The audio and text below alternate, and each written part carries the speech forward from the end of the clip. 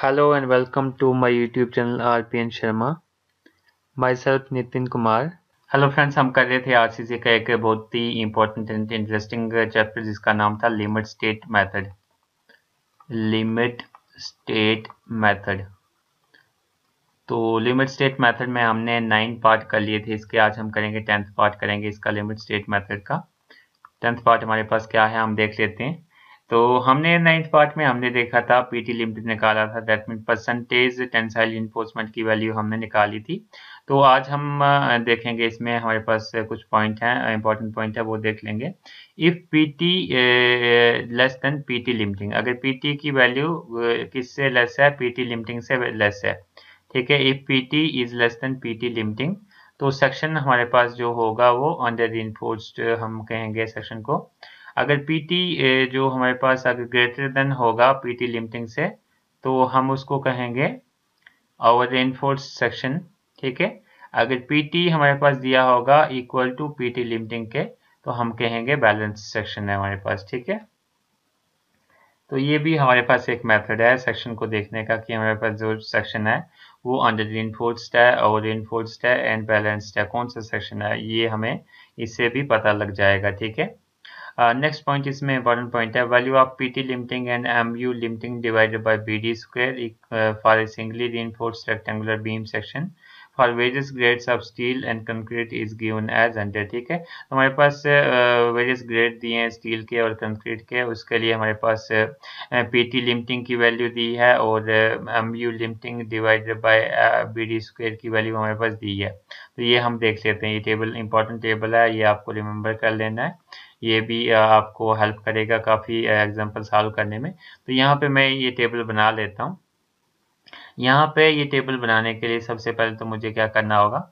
यहाँ पे लिखना होगा X U limiting X U limiting divided by D दूसरा कॉलम है हमारे पास R U equal to M U limiting M U limiting divided by B D square और हमारे पास तीसरा कॉलम बनेगा पी टी लिमिटिंग का। ठीक है? PT that mean percentage tensile tensile reinforcement और ये आ गया X U limiting divided by D ये आ गया आर यू ये आर यू किसके बराबर होता है? M U limiting divided by B D square अगर ये फार्मूला भी आपको कहीं यूज़ होगा M U limiting divided by B D square ये होता है आर यू के बराबर, ठीक है? तो यहाँ पे मैं लिख लेता हूँ एफ़ यू टू फिफ्टी ये है स्टील के ग्रेड है हमारे पास। F U two fifty F F E four one five and F E 500 ठीक है? तो ये वाला जो ग्रेड है, ये माइल स्टील का है और ये कोल्ड डिफाउंड बार्स हैं। ये हमारे पास इंडिया में यूज़ होते हैं F E four fifteen and F E five hundred ठीक है? तो आप लोग सरिये पे चेक कर सकते हो, आपका mostly F E five hundred ही होता है, जो यूज़ होता है, ठीक है? तो इनकी वैल्यू हमारे पास दी है एक्स लिमिटिंग बाई डी की वैल्यू जो हमारे पास एफ़ ई टू फिफ्टी के लिए होती है, वो ज़ीरो पॉइंट फिफ्टी थ्री होती है, ये पीछे भी हमने देखा था। और F E four one five के लिए इसकी वैल्यू जो होती है ज़ीरो पॉइंट फोर्टी एट होती है और एफ़ ई फाइव हंड्रेड के लिए इसकी value zero point forty six हम लेते हैं। कोड के अकॉर्डिंग इसकी वैल्यूज़ हैं, ठीक है? और इसकी जो वैल्यू है R U equal to M U limiting divided by B D square इसकी डायरेक्ट वैल्यूज़ यहाँ पे दी हैं zero point one four eight F C K F E two fifty के लिए। F E four one five के लिए हमारे पास इसकी वैल्यू होती है ज़ीरो पॉइंट के और एफ़ ई फाइव के लिए इसकी वैल्यू होती है zero point one three three F C K और पी टी लिमिटिंग की वैल्यू इस केस में टू फिफ्टी के लिए हमारे पास होती है zero point zero zero point zero eight eight F C K इसके लिए हमारे पास होती है इसकी value zero point zero four seven nine F C K और इसके लिए इसकी वैल्यू होती है zero point zero three eight F C K ठीक है तो ये आप रिमेंबर कर कर लेना। ये आपको वैल्यूज़ बाद में भी यूज़ होंगी और ये कोड पे भी मिल जाएँगे। ठीक है तो उसके बाद हमारे पास है as the code says X U is less than or equal to X U limiting hence pt is less than or equal to pt limiting mur is less than or equal to mur limiting ठीक है तो जैसे कि code कहता है कि हमारे पास जो एक्स यू की वैल्यू है, वो एक्स यू लिमिटिंग के इक्वल टू है या फिर या लेस देन है एक्स यू लिमिटिंग के तो वैसे ही hence P T P T जो हो जाएगा हमारे पास less than or equal to P T limiting M U R जो हो जाएगा हमारे पास एम यू आर लिमिटिंग के less than or equal to होगा, ठीक है? तो हमारे पास यहाँ पर नोट दिया है इंपॉर्टेंट नोट है, इसको देख लेते हैं। The gain in ultimate moment of resistance with increase in P T follows a nearly linear relationship almost upon the balance point ठीक है तो जो भी हमारे पास गेन है इसमें अल्टीमेट मोमेंट ऑफ़ रेजिस्टेंस में ठीक है वो किसकी वजह से? With the increase in PT follows a nearly linear relationship ठीक है? वो फॉलो करता है लीनियर रिलेशनशिप को ठीक है? ऑलमोस्ट अपॉन बैलेंस पॉइंट तक कहाँ तक? बैलेंस uh, पॉइंट तक ठीक है? In ultimate moment of resistance with the higher grade of concrete is marginal for a low value of PT and becomes pronounced only beyond PT equal to PT limiting ठीक है? Okay okay, तो इसके हमने note point देख लिया आगे हम देखते हैं हमें हमारे पास क्या है? नेक्स्ट हमारे पास दूसरा केस है। If X U by D less than X U limiting by D ठीक है? अगर हमारे पास इस ये केस है। इसका मतलब हो गया अंडर रीनफोर्स्ड सेक्शन है हमारे पास अंडर रीनफोर्स्ड सेक्शन है। अंडर रीनफोर्स्ड सेक्शन का केस है, ठीक है? तो अंडर रेनफोर्स के सेक्शन के केस में हम क्या करेंगे? हम कैसे मोमेंट ऑफ़ रेसिस्टेंस निकालेंगे? जो लिमिटिंग मोमेंट ऑफ़ रेसिस्टेंस हम कैसे निकालेंगे? एम्ब्यू लिमिटिंग कैसे निकालेंगे? तो वो हम देख लेते हैं एक बार। तो यहाँ पे हमारे पास जो भी हमारे पास हम कर रहे हैं इसको तो ये हमारे पास ए एस टी है area of steel in tension और ये हमारे पास डेप्थ है।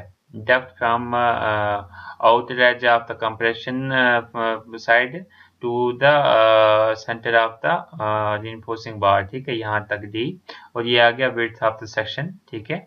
और ये हमारे पास आ गया एक्स यू ये आ गया एक्स यू न्यूट्रल एक्सिस तक है ये एक्स यू आ गया और ये आ गया एक्सियो लिमिटिंग ये न्यूट्रल एक्सिस के नीचे तक के इसकी वैल्यू है। और यहाँ पे हमारे पास स्ट्रेन डायग्राम है। स्ट्रेन डायग्राम में हम बात करें जो मैक्सिमम स्ट्रेन हमारे पास होती थी, वो कितनी होती थी? 0.0035 तो ये हमने रिमेंबर कर लेना, ये ऑल केसेस में सेम वैल्यू होगी।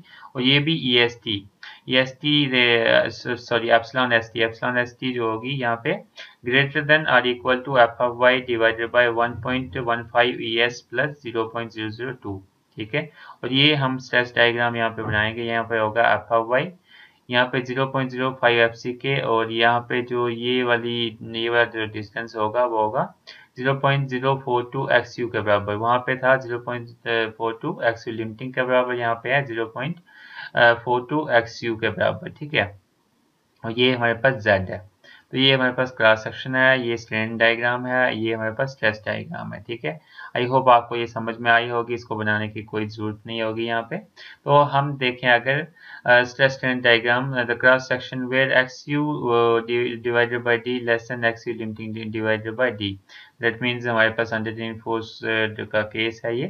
M U equal to compressive force into lever arm तो एम यू जब हम निकालते हैं तो वो किसके बराबर होता है? Compressive force into lever arm या फिर tensile force into lever arm तो हम अभी compressive force into lever arm कर लेते हैं। तो compressive force into lever arm तो कंप्रेसिव फोर्स हमने पीछे ही देखा था कि इसका जो फॉर्मूला होता है zero point three six F C K into X U into B ठीक है? तो यहाँ पे सिर्फ़ फ़र्क कितना होता है, किसी जगह पे एक्स यू होता है, किसी जगह पे एक्स यू लिमिटिंग होता है। तो यहाँ पे इसकी वैल्यू एक्स यू है। ठीक है? कंप्रेशन के लिए। इंटू लेवर आर्म जेड की value D minus zero point forty two X U तो यहाँ पे इसकी वैल्यू कितनी है? 0.42 point forty two into X U किसी जगह पे हमारे पास एक्स यू लिमिटिंग होता है, इस इस पे, इस केस में हमारे पास एक्स यू है इसमें।